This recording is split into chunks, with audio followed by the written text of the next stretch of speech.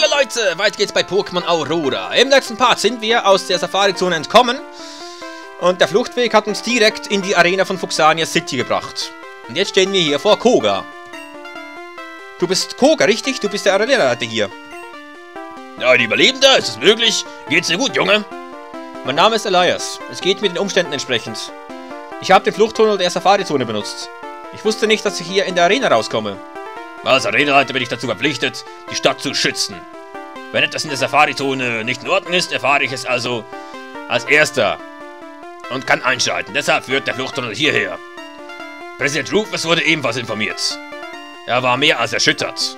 Ich und einige weitere Parkranger, die sich zum Zeitpunkt der Katastrophe nicht in der Safari-Zone befanden, haben die Türen verbarrikadiert und sorgen jetzt dafür, dass nichts aus der Safari raus oder reinkommt. Und die Infizierten? Bist du ihnen begegnet? Sind sie nicht in die Stadt vorgedrungen? Nein, glücklicherweise nicht. Man hat schnell reagiert. Aber trotz allem habe ich die Stadtausgänge ebenfalls abgeriegelt. In der Safari-Zone sind aber noch Überlebende. Wir müssen sie da rausholen. Was sagst du da? Man sagte mir, man habe weit und breit nur Tod gesehen. Es gibt noch eine kleine Gruppe, die überlebt hat. Das ändert natürlich einiges. Du warst also in der Safari-Zone, hast mitbekommen, wie das alles passieren konnte? Eine junge Frau namens Ronja ist dafür verantwortlich. Diese Pokémon sind irgendwie krank. Ich dachte anfangs, sie wären tollwütig oder etwas in der Art. Wenn man von ihnen gebissen wird, verwandelt man sich in ihresgleichen. Es ist wohl so etwas wie ein Virus. Ja, das ist mir bereits zu Ohren gekommen. Nachdem wir die Überlebenden aus der Safari-Zone rausgeholt haben, müssen wir diese Ronja finden. Es sind so viele Leute aus der Safari-Zone rein und rausgekommen. Besteht die Möglichkeit, dass sie bereits aus der Stadt geflüchtet ist? Möglich. Aber seit der Notstand ausgebrochen ist, kam eigentlich meines Wissens niemand aus der Safari-Zone heraus. Nun ja, bevor dort die Hölle ausgebrochen ist, hat sie sich wohl aus dem Staub gemacht. Aber egal, wir müssen die Überlebenden aus der Safari-Zone rausholen. Dazu brauche ich allerdings Hilfe. Ich weiß nicht, ob ich verantworten kann, dass eine dieser Kreaturen nach draußen gelangt. Es könnte verheerende Folgen haben, wenn es stimmt, was man sagt. Aber da sind noch Menschen drin. Sollen wir es einfach ihrem Schicksal überlassen? Das mag sein. Doch haben diese Leute es verdient, gerettet zu werden? Sind sie es wert? Sind sie es wert? Dafür das Wohlergehen der restlichen Bevölkerung und der Bewohner von Fuxania City aufs Spiel zu setzen? Ich habe viel für diese Leute riskiert und sogar mein Tauros verloren. Auch Menschen habe ich heute sterben sehen. Viele Menschen. Zu viele. Es tut mir leid für dich, Junge. Ich kann mir wohl nicht im Entferntesten vorstellen, was du alles durchmachen musstest. Aber zu deiner Frage. Ich weiß nicht, ob sie es wert sind. Ich weiß nicht, ob es gute Menschen sind. Aber ich habe auch nicht das Recht, darüber zu urteilen. Ich weiß nur, dass mein Tauros umsonst gestorben wäre, wenn ich diese Leute nicht rette. Und ich weiß, dass ich mein Leben lang mit einem schlechten Gewissen leben müsste, wenn ich sie sterben lasse. Also gut, ich werde dir dabei helfen, Junge. Allerdings habe ich das nicht allein zu entscheiden. Der Präsident muss darüber entscheiden. Was? Aber wir dürfen keine Zeit mehr verlieren. Ja, gehen wir. Ich hätte jetzt echt damit gerechnet, dass ich gegen den kämpfen muss. Okay, umso besser. Es ist eine Katastrophe, eine einzige Katastrophe. Und du sagst, eine blonde Frau namens Ronja ist dafür verantwortlich, junger Mann? Außerdem sollen sich noch Menschen in der Safari-Zone aufhalten? Überlebende?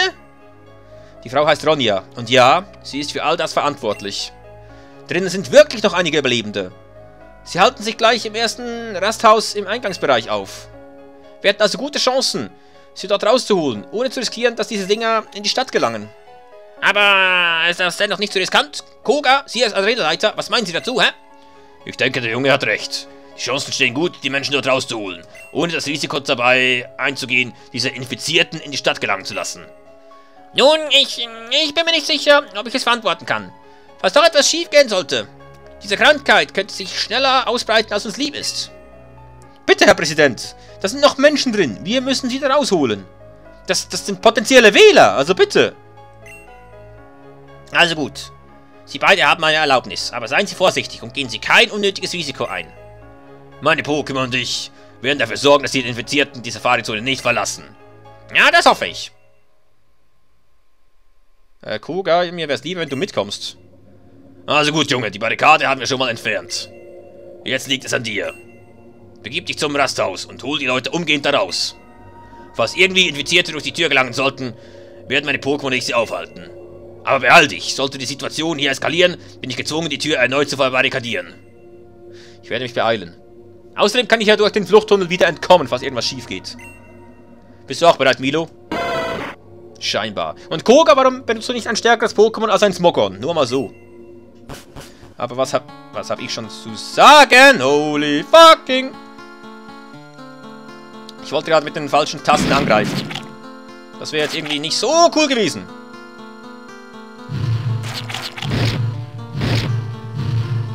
Geh da weg! Oh, zum Glück ist es nur ein, ein Fleckmon. Holy fucking shit. Bam! So, und jetzt das Fleckmon. Komm her! Nein! Oh, Vieh ist so langsam. Kann nicht einschätzen, wann ich es treffen muss. Naja, mit dem Flammendorf geht's ja. So, Leute, ich bin da. Elias, du bist wieder da. Ein Glück. Ja, und ich bin durch den Eingang aus der Safari-Zone gelangt. Er führte mich direkt in die Arena von Fuxania City. Dort traf ich auf den Arenaleiter Koga und er war bereit, mir zu helfen, euch herauszuholen. Aber wir haben nicht viel Zeit. Wir müssen so schnell wie möglich zum Eingang der Safari-Zone. Ich habe gehört, was Elias gesagt hat. Unsere Pokémon werden versuchen, so viele infiziert wie möglich von uns fernzuhalten. Ansonsten kann ich nur eins sagen. Rennt, was das Zeug hält. Cedric, ich bin froh, dass du es geschafft hast. Ich auch, Elias. Aber jetzt müssen wir erstmal hier raus. Du, du hast recht. Gehen wir, Leute. Oh, was zum... Was? Ich, ich konnte gar nichts machen. Was zum Fick? Was zum... Was geht jetzt ab? Stauros und das Macholo mit der Sonnenbrille. Elias muss träumen, anders geht's gar nicht. Was war jetzt das für eine abgefuckte Scheiße? Wo kamen diese ganzen Infizierten auf einmal her?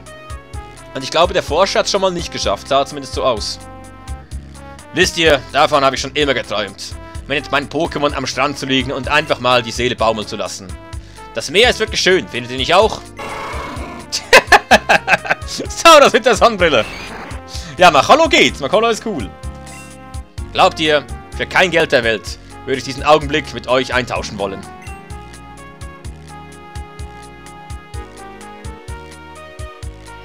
Was?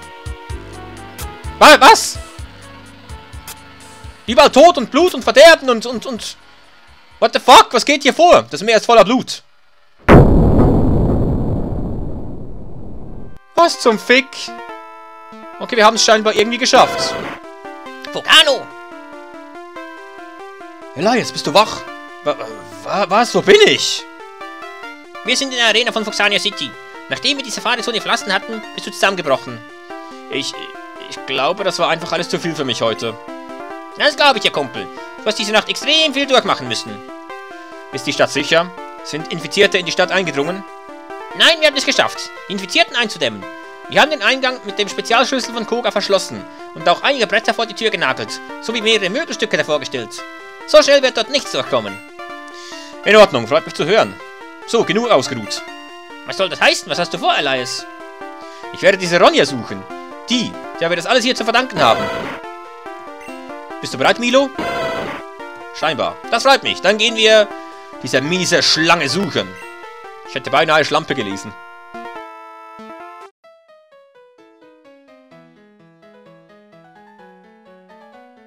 Die Sonne geht langsam auf. Fuxania City sieht wirklich schön aus, findest du nicht auch, Milo? Deswegen nennt man sie also die Stadt der Morgenröte. Aber die Straßen scheinen wie leergefegt zu sein. Kein Wunder, die Leute wurden angewiesen, ihre Häuser nicht zu verlassen. Davon gehe ich zumindest aus. Denn laut dem Arenaleiter Koga wurde der Notstand ausgerufen. Hm, ich hoffe, diese Ronja versteckt sich nicht in einem dieser Häuser. Abgeschlossen. Abgeschlossen. So ein Mist. Milo hätte das gut gebrauchen können, ja, das ist wohl wahr. Die Tür ist abgeschlossen. Okay, da komme ich nicht weiter. Ich sehe mich erst hier in Fuxania City um. Markt. Auch geschlossen. Hier oben was Geheimes. Nö. Und da steht jemand vor der Safari-Zone. Kalu. Was macht ihr draußen, Junge? Alle Zivilisten sind dazu aufgefordert worden, in den Häusern zu bleiben. Wir suchen eine Frau namens Ronja. Sie ist für diese Katastrophe in der Safari-Zone verantwortlich. Sie ist eine blonde Frau, schwarz gekleidet und so ungefähr 20. Was sagst du da, Junge? Diese Frau wollte sich vorhin mit mir anlegen. Und hat mir sogar gedroht. Ich habe sie ermahnt und ihr gedroht, sie in Gewahrsam zu nehmen, falls sie weiter Faxen macht. Sie kann doch die Stadt nicht verlassen haben, oder? Nein, solange der Notstand ausgerufen ist, kann keine Stadt betreten oder gar verlassen. In die Häuser kann sie eigentlich auch nicht. Da jeder Bürger angewiesen wurde, seine Haustür geschlossen zu halten. Wissen Sie, in welche Richtung sie gegangen ist? Darauf habe ich ehrlich gesagt gar nicht geachtet, tut mir leid. Sie ist hier vorhin immer noch hin und her geschlichen. Na schön, ich werde selber nochmal nach ihr suchen. Es ist viel zu gefährlich, Junge. Glauben Sie mir, ich habe heute schon einiges überlebt. Außerdem ist Milo bei mir. Stimmt's, Milo? Na also. Du heute etwa in der Safari-Zone? So ist es, ich war dabei, als diese Ronja die infizierten Pokémon freiließ. Aber ich habe keine Zeit, ich muss diese Frau suchen, bevor sie noch etwas, ähm, noch Schlimmeres anrichtet. Also gut, falls diese Ronja hier noch einmal auftauchen sollte, werde ich sie in Gewahrsam nehmen. Danke, halten Sie bitte die Augen weiter offen. Ja, werde ich tun, viel Glück, Junge. Blond, circa 20, schwarz gekleidet. Klingt doch nach einer ziemlich interessanten Person, findet ihr nicht? Wie, wie, wie alt ist Elias eigentlich? Ob er mit ihr was anfangen könnte? Ich wage es zu bezweifeln. Hm. Pokémon Paradies, yeah. Stadt der rosaroten Träume. Abgesperrt, ja. Wo ist diese olle Bitch? Das Haus von Präsident Rufus. Ich sollte nicht stören. Ist hier? Raus dürfte ich auch nicht kommen, nein. Wo ist diese olle Bitch? Will die mich verarschen? Bestimmt am Strand unten, oder? Bestimmt unten am Strand. Oh, wir können hier weiter. Ich gehe erstmal zum Strand. Falls ich das überhaupt kann. Äh. Es hat gerade geleckt wie Scheiße. Dort geht's zum Strand. Wir sollten uns aber erst einmal hier in Fuxania City nach Ronja umsehen. Sie muss einfach hier sein. Okay, dann gehen wir nicht zum Strand. Ist ja in Ordnung. Gehen wir hier Richtung Westen. Ausgänge wurden abgeriegelt. Polizist Jim. Na, na, mein Junge, du hast hier draußen nichts verloren. Alle Einwohner der Stadt wurden gebeten, in ihren Häusern zu bleiben. Das gilt auch für dich. Ja, ist mir bewusst. Aber wir suchen diese Frau, die für diese Katastrophe verantwortlich ist. Sie ist eine blonde Frau, schwarz gekleidet und so ungefähr 20. Und das gibt dir und deinem Pokémon die Erlaubnis, sich hier nicht an die Regeln zu halten, hä? Koga, der Arenaleiter, weiß Bescheid. Er hat mir geholfen, die Überlebenden aus der Safari-Zone zu retten. In der Safari-Zone gab es Überlebende? Das ist sehr großartig. Aber, äh, nun gut, ich weiß nichts von dieser Frau. Aber ich werde weiterhin die Augen offen halten und du solltest dich nicht länger als nötig draußen aufhalten, Junge. Auch wenn es löblich ist, was du tust. Du solltest die Sache lieber der Polizei überlassen. Seltsam. Ich habe bisher noch niemanden nach ihr suchen sehen. Momentan sind viele meiner Kollegen abgesetzt worden, um die Leute zu betreuen. Die meisten stehen unter Schock. Schließlich sind viele Angehörige der Bewohner von Fuxania City in der Safari-Zone ums Leben gekommen. Das ist natürlich verständlich, danke für die Auskunft. Ich werde mich so bald wie möglich in Sicherheit begeben, wenn die Suche nach der Frau erfolglos bleibt. Machen Sie sich keine Sorgen. Na schön, Junge, sei auf der Hut und gehe keine unnötigen Risiken ein. Danke, mein Pokémon passt auf mich auf und ich passe ebenfalls auf Milo auf. Schön zu hören. Nun, dann wünsche ich euch viel Erfolg bei eurer Suche. Seid vorsichtig. Und wenn ihr Hilfe benötigt, meldet euch bei der Polizei. Das ist echt seltsam. Findest du nicht auch, Milo? Diese Ronja scheint sich in Luft aufgelöst zu haben. Und keiner scheint zu wissen, äh, dass sie gesucht wird. Ob... Ob wir eventuell mal Präsident Rufus aufsuchen sollten? Vielleicht kann er uns etwas sagen.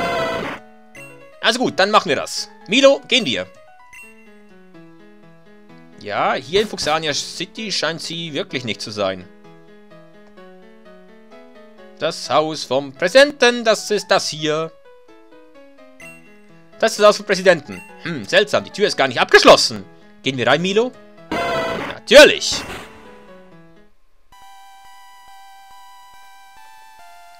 Da ist sie. Die ist aber rot gekleidet teilweise. Naja. Du schon wieder, du verdammter Rotzlöffel. Ronja. Kein Schritt weiter, oder El Präsidente hier hat gleich ein Messer im Hals stecken.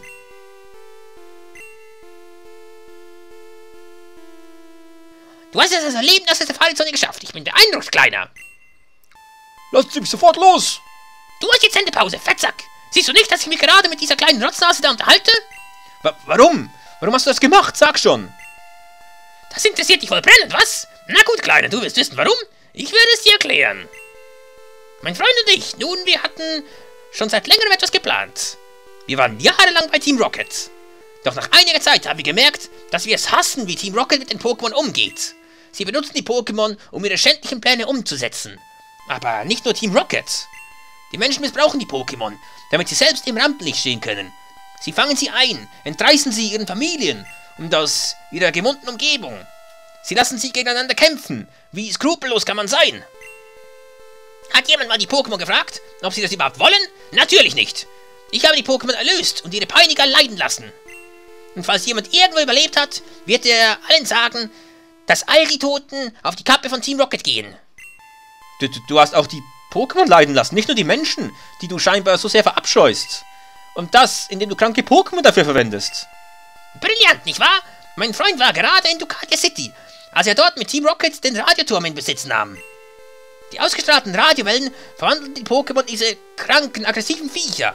Es reicht ein Biss, um den Virus weiterzugeben. Als mein Freund das herausfand, kam ihm eine Idee. Warum nicht die Pokémon, die gebissen, aber noch nicht verwandelt waren, einfangen und den Virus zu verbreiten? Es war die perfekte Rache. Man konnte sie einfangen. Erst im Pokéball wandelten sie sich.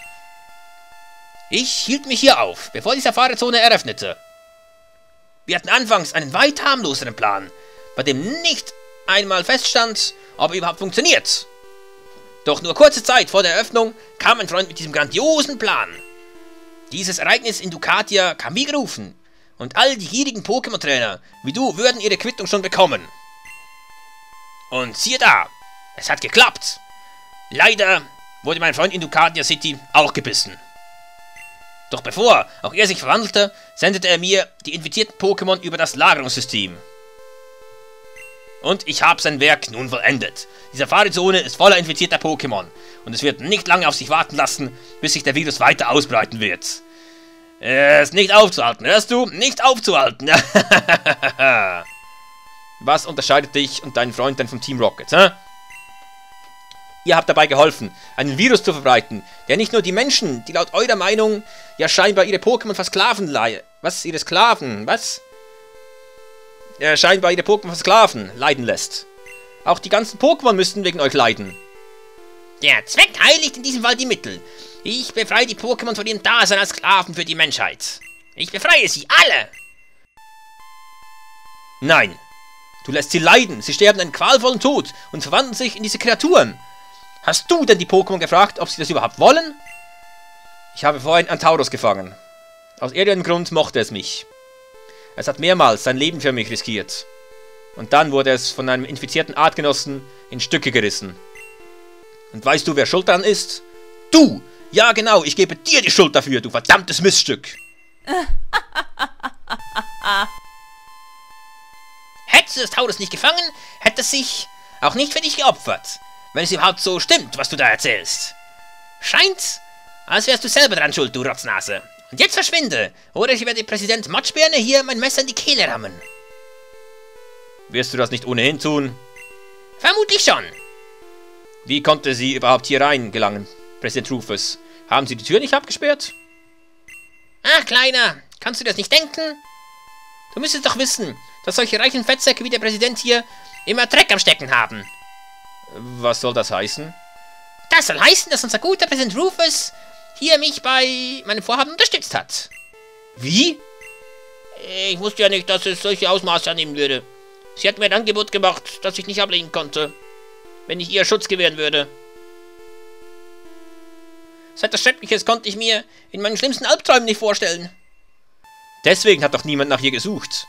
Sie haben Koga und mich reingelegt und gar keine Fandung nach ihr ausgegeben. Was hat sie ihnen geboten, hä?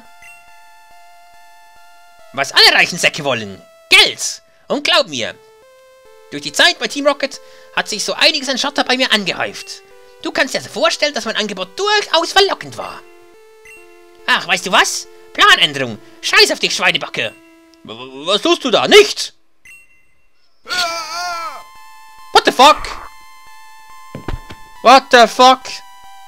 Nun zu dir, Kleiner. Wir hatten ja bisher schon wundervolle, geradezu magische Momente, nicht wahr? Und ich kenne nicht mal deinen Namen. Elias.